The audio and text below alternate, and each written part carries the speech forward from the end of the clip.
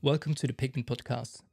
Today I'm going to continue why I love working with pigments, why I'm fascinated by them, and why I even call them my passion. So, in my first episode, I left some things out. And one very important thing I left out is basically because as a paint maker, I don't really notice it. I talked about um, the personality of pigments, how they act on my slab, or uh, when I make a swatch out of it, how it dances on the paper. This takes a little while to notice for me as a paint maker. It's on the labels of the pigments that I buy, or the data sheets if they don't have labels. It is basically on every paint that you buy because of a very good reason.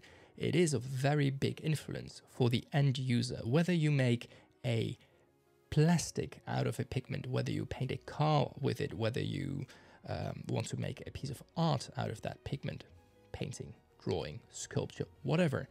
It is light fastness. Light fastness, in a very short explanation, is basically how much color is left after it is exposed to UV for a certain amount of time. So UV breaks things down. When you leave something outside, um, it, it, it, it gets destroyed, broken down by UV. Same goes for pigments. So color gets broken down.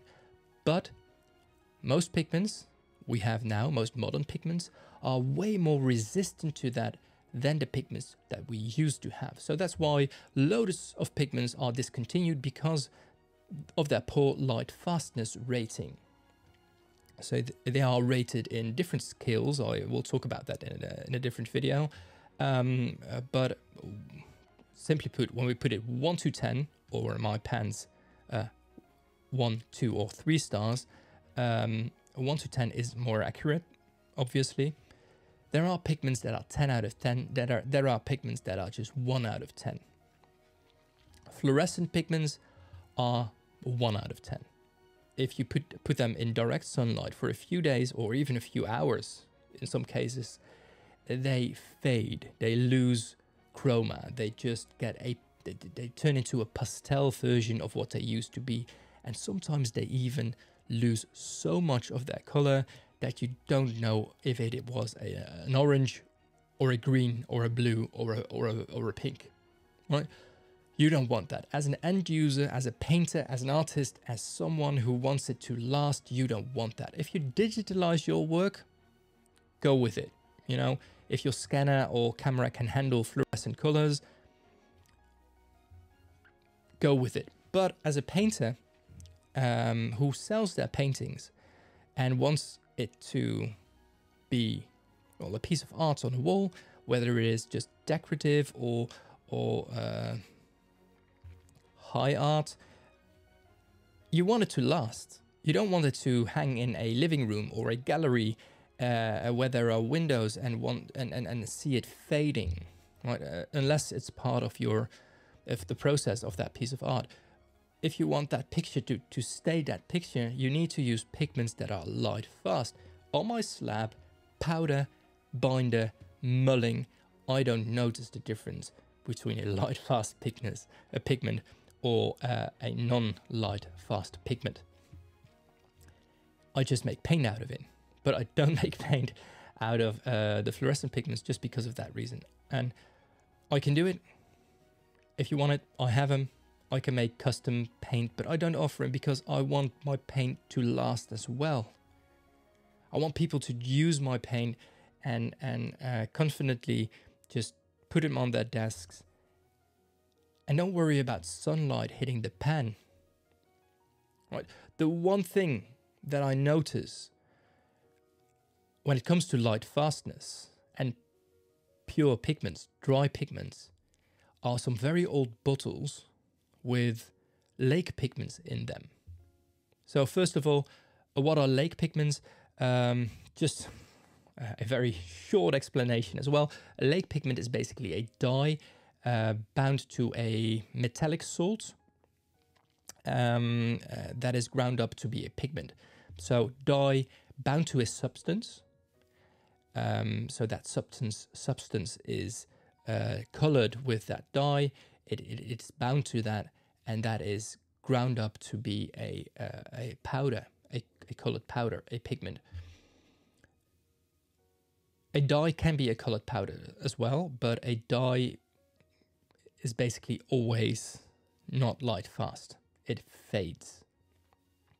When it is bound to that metallic salt, um, it increases the light fastness rating, but it's still never perfect.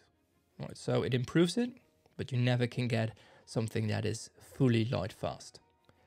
Lake pigments were used uh, for carmine, for instance, is a, is a very, very famous one. Um, indigo is a natural pigment as well, although it is highly light fast, one of the most light fast natural dyes uh, available. And there are loads and loads and loads of options um, and, and, and, and, you know, different colors, especially historically, that were made like that.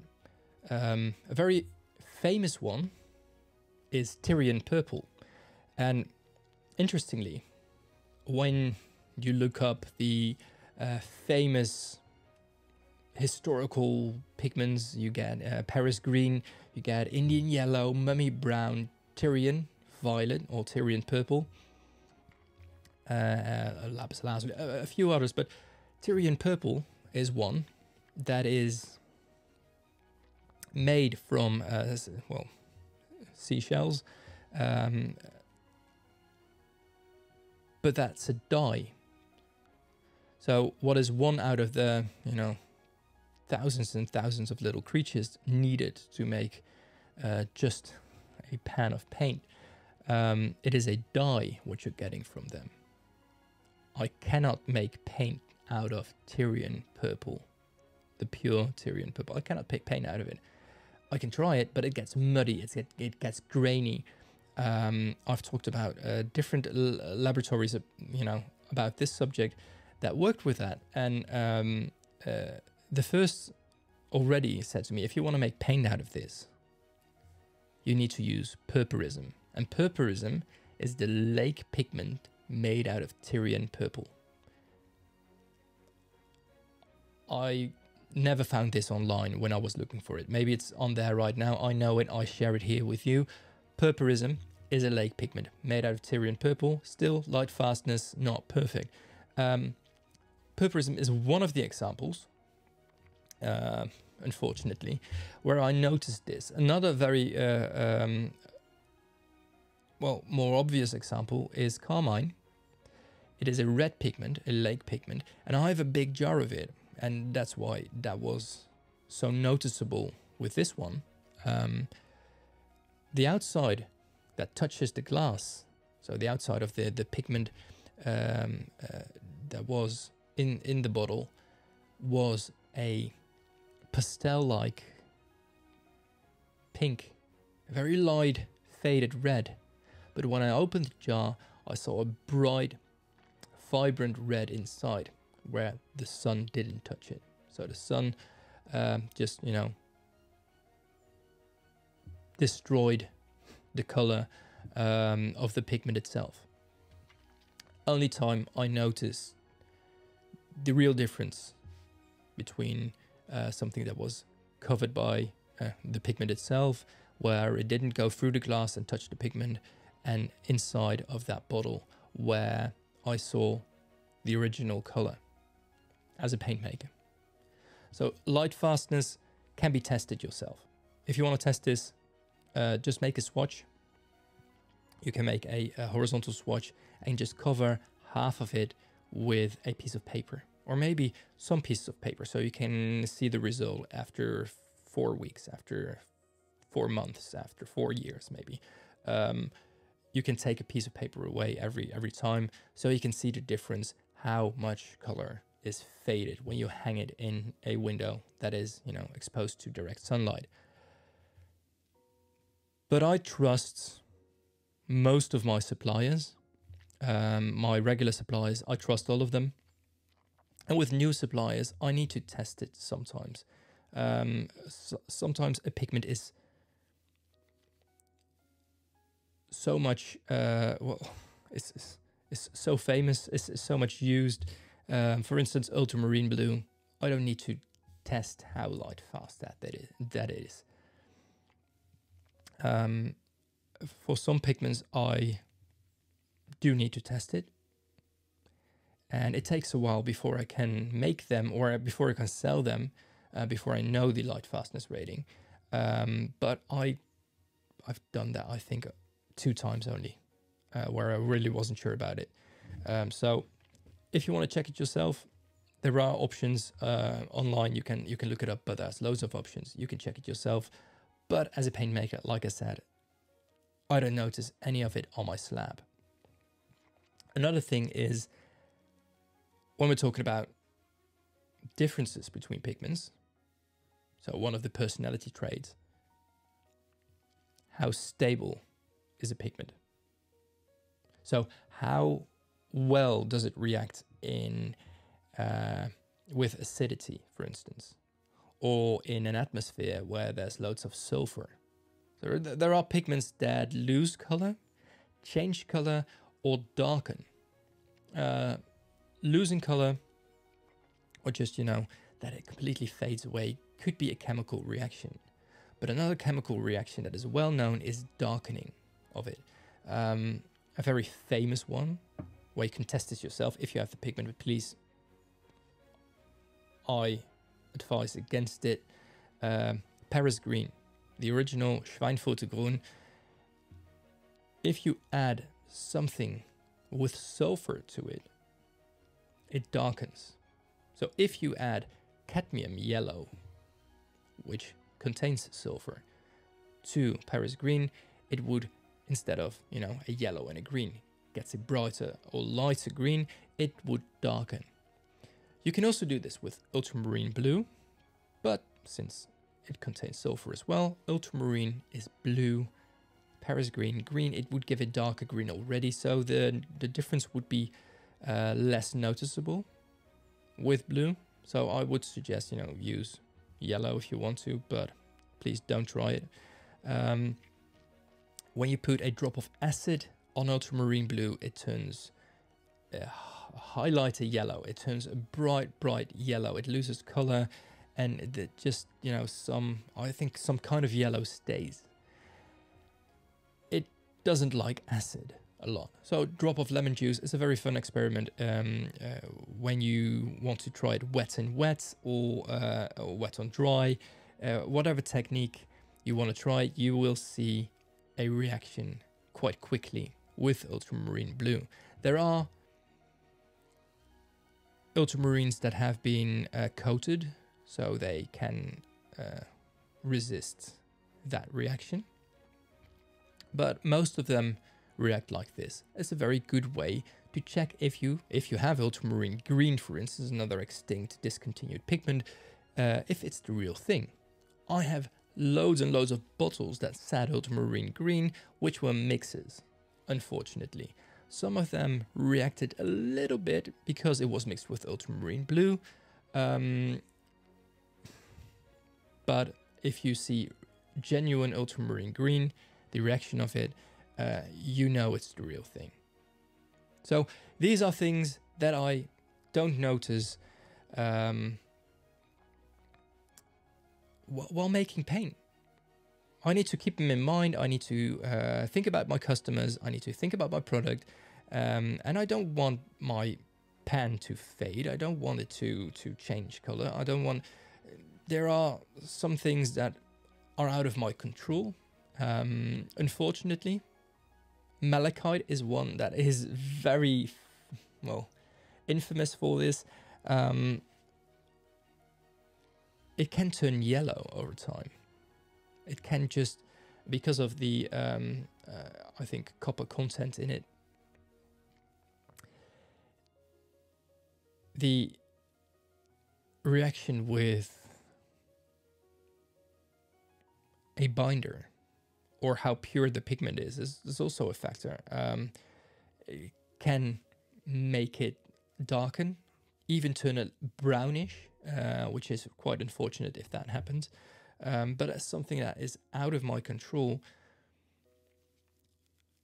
unless I need to cut every pan in half to check if that happened to the paint because that's what happens. The outside layer may look perfect, but the inside uh, is is darkened. Um, and I've I've done this once, and luckily I um, I found a very nice green inside. Um, I had another pen which fell out of it, uh, out of the. I had a pan of paint, and the paint fell out of the pen, and I noticed that that darkening happened on the bottom. Um, there was a little later, and it was a different batch of pigment by the same supplier. And that's quite unfortunate, um, but that's not something I can check on my slab or with all the tools I use uh, as a quality check. Um, uh, the swatches look beautiful. I let it dry, I swatch it, it looks beautiful. But the reaction over time that that paint might have just happens sometimes.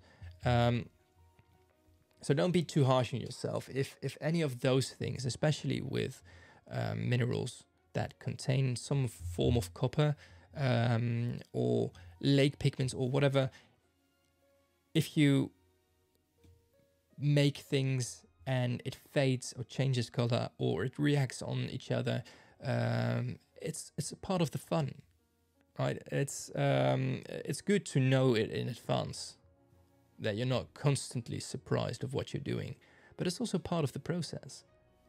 You need to learn, uh, or you need to write. You know, I have loads of books here, and I know a lot about pigments. Um, but I get surprised sometimes as well. And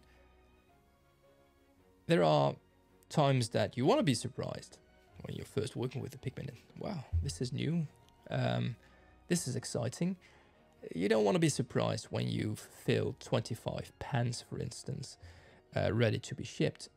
That's unfortunate if that happens, which also happened to me once. So, personalities of pigments. Like people, uh, they can make you smile, but they can be quite frustrating at times as well.